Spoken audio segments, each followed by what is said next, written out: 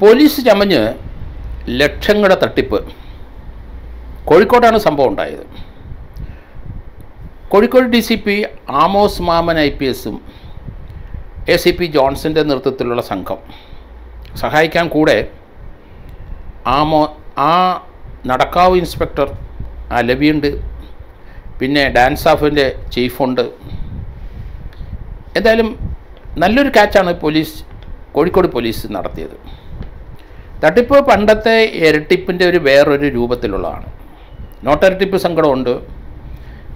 അത് തമിഴ്നാട്ടിലുള്ളവരാണ് കൂടുതലും അത് ചെയ്യുന്നത്. ഇരട്ടിപ്പ് സംഘത്തിന്റെ വേറൊരു വകഭേദമാണ് ഇപ്പോഴത്തെ ഈ തട്ടിപ്പ്. ആ തട്ടിപ്പ് വളരെ രസകരമായിട്ട് നമുക്ക് തോന്നും. കാരണം ഈ ക്രിമിനലായിട്ടുള്ള ആൾക്കാർ സംഘം ചേരും. ഓരോ തട്ടിപ്പ് നടത്തും ഓരോ സ്റ്റേറ്റിൽ പോയി നടത്തുന്ന ധാരാളം സംഘങ്ങളെ എനിക്കറിയാം. ഇവിടെ ഇപ്പം കണ്ണൂർ ബേസ്ഡ് ആയിട്ടുള്ള മലപ്പുറം ബേസ്ഡ് ആയിട്ടുള്ള രണ്ട് രണ്ടുപേരും നവാസ് എന്ന് പറഞ്ഞ ഒരാളും മലപ്പുറം പറമ്പിൽ ഭാഗത്ത് പറമ്പിപ്പീടിയ ഭാഗത്ത് താമസിക്കുന്ന ആളാണ്. അയാൾക്കിപ്പോൾ സ്ഥിരമായിട്ട് ജോ ജോലിയൊന്നുമില്ല. ഈ തട്ടിപ്പ് തന്നെ. വേറെ വീട് പോലുമില്ല. ബാക്കി ഡീറ്റെയിൽസ് നമുക്കറിയില്ല. അതുപോലെ കണ്ണ കണ്ണൂർ മാടായിലുള്ള ഷാജിത്ത്. ഇവരുണ്ട്. പിന്നെ ആലപ്പുഴക്കാരൻ കരുമാടിപ്പറമ്പിലെ സുഭാഷ് കുമാർ. പിന്നെ വെള്ളനാട് ചുവാണ്ടം വെള്ളനാട് ജിജോ ലാസ് കണ്ണൂർ തന്നെ ഒരു ഇക്ബാൽ. ഇവർ നാലഞ്ച് പേരാണ് ഇതിന്റെ പിന്നണിയിൽ പ്രവർത്തിക്കുന്നത്. നമ്മൾ ആലോചിക്കണം ഈ കേസിനകത്ത് ഒരാൾ മലപ്പുറം ഒരാൾ കണ്ണൂർ രണ്ട് പേര് കണ്ണൂർ ഒരാൾ ആലപ്പുഴ ഒരാൾ തിരുവനന്തപുരം വെള്ളനാട്. ഈ സംഘം ചേർന്നിരിക്കുന്നത് പല ജില്ലകളിലുള്ളവരാണ്. അപ്പോൾ ഓരോ ജില്ലകളിൽ ഇതുപോലുള്ള തട്ടിപ്പ് നടത്താൻ ഇവർ ലീഡർഷിപ്പ് എടുക്കും.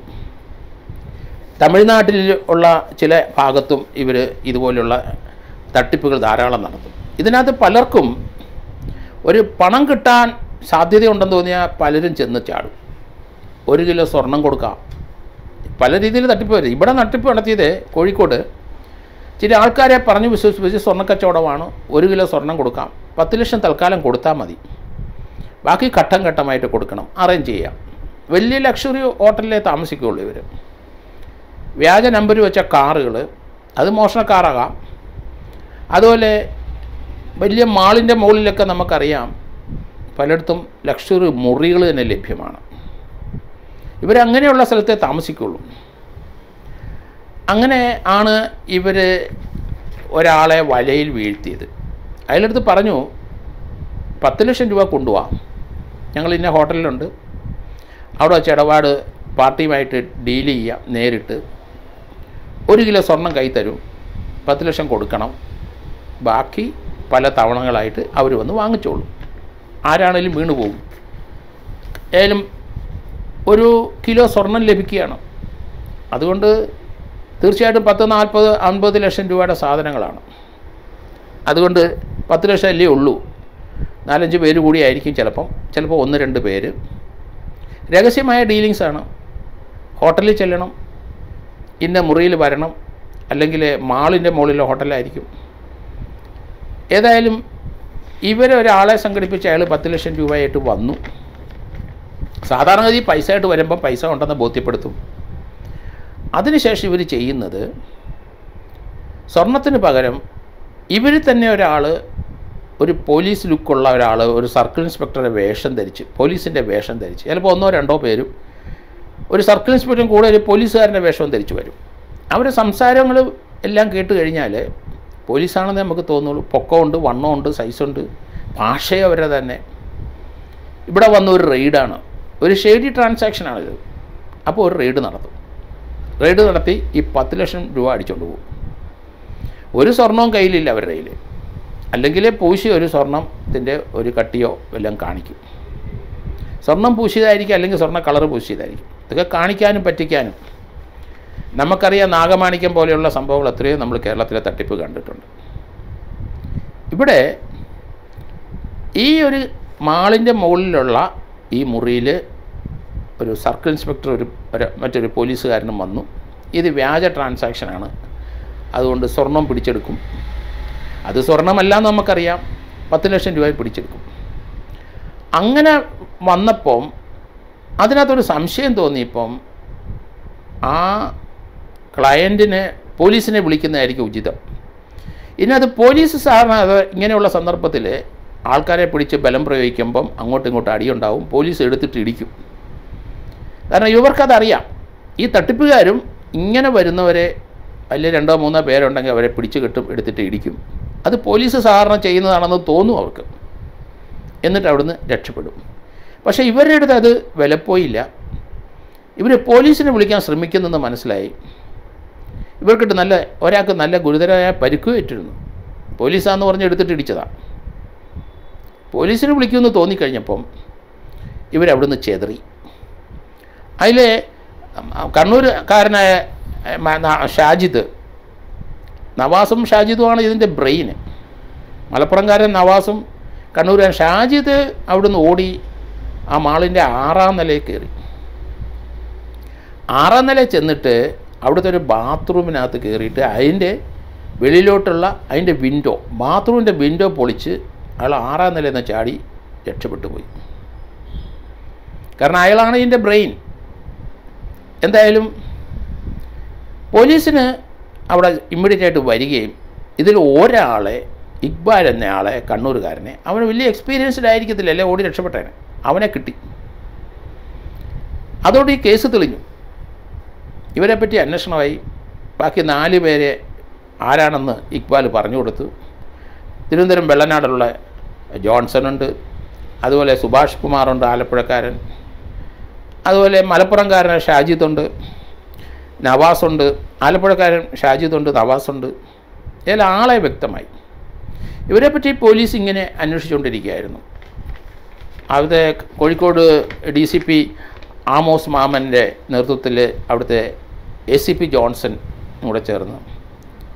ഈ കേസിന്റെ ഒരു മോഡസോപ്രാണ്ടി എന്ന് പറയുമ്പോൾ അവർ ഇങ്ങനെ ആൾക്കാരെ കണ്ടെത്തി കഴിഞ്ഞാൽ അവരുടെ മൊബൈൽ നമ്പർ കൊടുക്കും.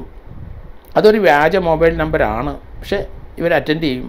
സംഭവം കഴിഞ്ഞ ഉടനെ ആ മൊബൈൽ നശിപ്പിച്ച് കളയും. അതിന്റെ സിം കാർഡ് നശിപ്പിച്ച് കളയും. അതിനകത്ത് ഒരു ഇവർ കൊടുക്കുന്ന പ്രൂഫ് തമിഴ്നാട്ടിലുള്ള ആരെങ്കിലും ആയിരിക്കും. അവർ പോലെ അവരുടെ ഏതെങ്കിലും നഷ്ടപ്പെട്ട ഒരു മൊബൈലിന്റെ നമ്പരോ അല്ലെങ്കിൽ ഒരു അവരുടെ ആധാർ കാർഡിന്റെ കോപ്പിയോ ഒക്കെ ആയിരിക്കാം. അതെല്ലാമാണ് ഇവിടെ കാണിക്കുന്നത്. പറഞ്ഞ് വിശ്വസിപ്പിക്കുക ഒരു എഗ്രിമെന്റ് ഒക്കെ ചിലപ്പോൾ എഴുതിയെന്ന് വരും. വിശ്വസിക്കാൻ വേണ്ടി. ബാക്കി ഘട്ടം ഘട്ടമായിട്ട് കൊടുത്താൽ മതി. എന്തായാലും വ്യാജ നമ്പർ പതിപ്പിച്ച കാറുമാണ് വരുന്നത്. അപ്പോൾ ആധാർ ഫോൾസ് തമിഴ്നാട്ടിലുള്ള ആരെങ്കിലും ആയിരിക്കും. വ്യാജ നമ്പർ വിളിച്ച് കാറിൽ വരും. ആ കൊടുക്കുന്ന അഡ്രസ്സും ഫോൾസ് ആയിരിക്കും. അതുപോലെ തന്നെ ഈ സംഭവം കഴിഞ്ഞാൽ ഉടൻ അവർ ഇതിന്റെ റെക്കോർഡുകളെല്ലാം കാരണം അവരുടെ എല്ലാം മുഴുവൻ നശിപ്പിച്ച് കളയും. പിന്നെ ആ ഫോൺ മൊബൈൽ ഫോൺ ഓൺ ആകത്തില്ല. അതുപോലെ തന്നെ ആ കാർഡ് അല്ലെങ്കിൽ ആധാർ കാർഡുകാരനെ തമിഴ്നാട്ടിൽ അയാൾ പോയപ്പോൾ അയാളെ നഷ്ടപ്പെട്ടായിരിക്കും അല്ല അയാളുടെ ഫോട്ടോസ്റ്റാറ്റ് ആയിരിക്കും. അയാൾക്ക് ഇവരെ പരിചയമില്ല അറിയില്ല. പിന്നെ കാറ് വല്ലയിടത്തുനിന്ന് മോഷിച്ചതായിരിക്കും അതിന്റെ നമ്പർ വ്യത്യാസമായിരിക്കും. കള്ള നമ്പരായിരിക്കും ആ വണ്ടി കണ്ടുപിടിക്കാനും ബുദ്ധിമുട്ട്. സാധാരണ കള്ളന്മാർ ചെയ്യുന്ന പോലെ എല്ലാ രീതിയിലുള്ള പ്രവർത്തികൾ തന്നെയാണ് ഈ ഫ്രോഡ് ചെയ്യുന്നവരും ചെയ്യുന്നത്. ഇത് പല സന്ദർഭങ്ങളിലും അവർ പല രീതിയിലുള്ള പെരുമാറ്റവും പല രീതിയിലുള്ള ടെക്നിക്കുകളാണ് ഉപയോഗിക്കുന്നത്. ഇപ്പം പാലക്കാട് ഇവരെ പിടിക്കാൻ ഈ നാല് പേരെയും പാലക്കാട് ഇട്ട് പിടിച്ചു.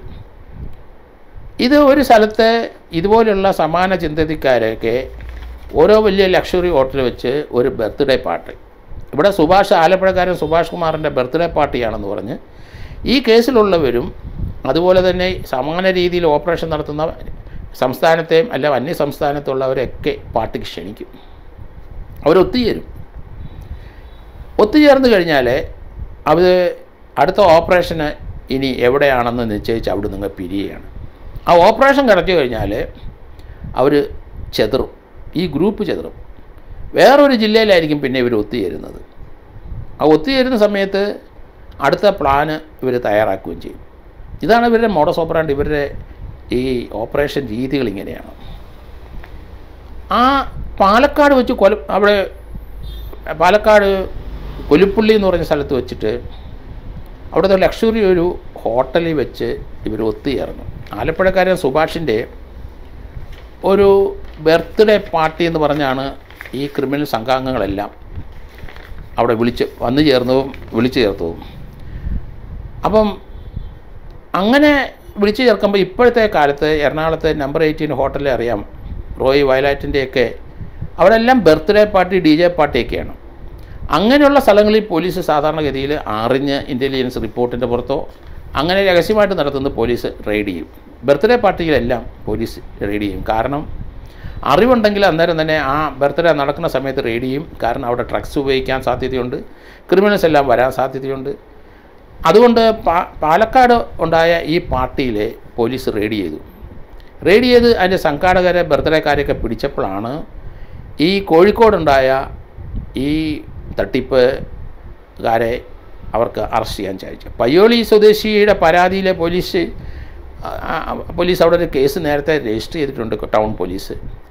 അതുകൊണ്ട് അതിനകത്ത് ഉൾപ്പെട്ട നാല് പേരെ ഇവിടുന്ന് പോലീസിന് അറസ്റ്റ് ചെയ്യാൻ പറ്റി. അഞ്ച് ഈ കേസിനകത്ത് ഉൾപ്പെട്ട പത്ത് ലക്ഷം രൂപയുടെ തട്ടിപ്പ് നടത്തിയ ഒരു കിലോ സ്വർണം കൊടുക്കാമെന്ന് പറഞ്ഞ അഞ്ചു പേരെയും ഇപ്പോൾ അറസ്റ്റിലായി. ഏതായാലും പോലീസിനെ ആ കാര്യത്തിൽ അഭിനന്ദിക്കാൻ കാരണം കഴിഞ്ഞ ഇരുപ കഴിഞ്ഞ മാസം ഒരു ഇരുപത്താറാം തീയതി എങ്ങാണ്ട് നടന്നതാണ്. അപ്പം ഇത്രയും പെട്ടെന്ന് ഈ ആൾക്കാരെ കണ്ടെത്താനും അതുമായിട്ട് ബന്ധപ്പെട്ട ക്രിമിനൽസിനെ ഒതുക്കാനും പോലീസിന് സാധിച്ചു.